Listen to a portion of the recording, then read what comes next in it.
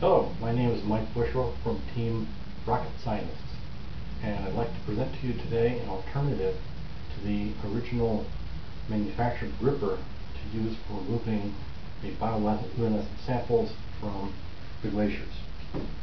Now, with the current setup, as your ROV slides up until your gripper just grabs it, and you close the gripper,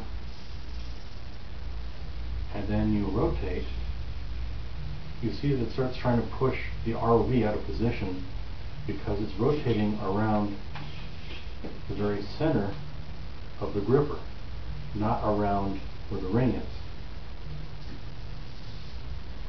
So if you take a different approach, you can try using one of these remote grippers from Harbor Freight. It's item number 94870 and they cost only $2.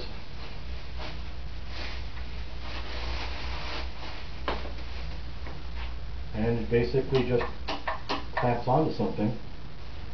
So what you do is to take the handle apart with a flat blade screwdriver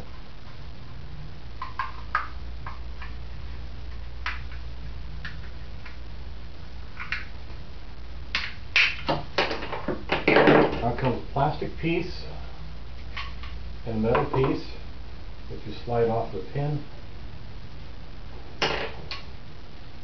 Pull off the plastic for the handle. Cut the handle about here. At the other end, you slip off that part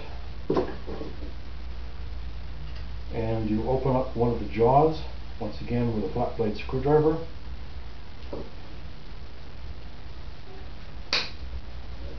And you'll find inside a little spring that helps keep the claws open. Now this spring is a little bit too stiff for the servos, so you go to Harbor Freight and buy a box of miscellaneous springs for $3. Take one of the smaller springs, cut it in half, and replace it and put the gripper back together again. Now once you have reassembled the shortened gripper, make an L bracket to hold one of the two servos, mount the servo in the middle here, and then use these sort of pipe clamps to clamp the handle of the gripper along the side there. Then you bolt the short end of the L bracket onto the hole. Bolt the short end of the L shape onto a second servo such that it pivots the entire assembly.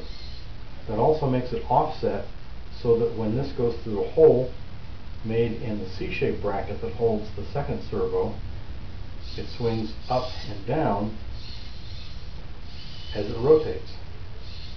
This way,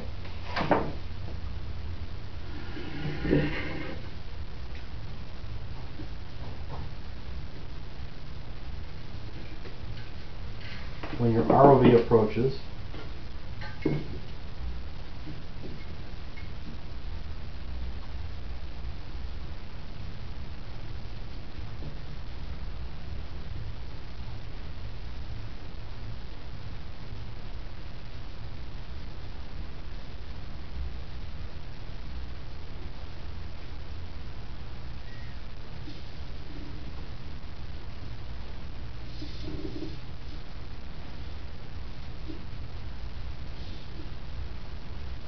you slide up to it,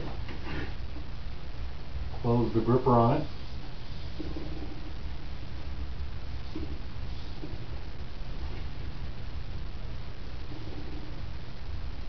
and now when you rotate it pivots around the center point and all your RV has to do is just lift up a little bit and pull back and you have removed the bioluminescent sample. So this is less expensive to build, fairly easy to put together, and will work much more effectively at removing the bioluminescent sample from the J-shaped hooks that will be used in the competition.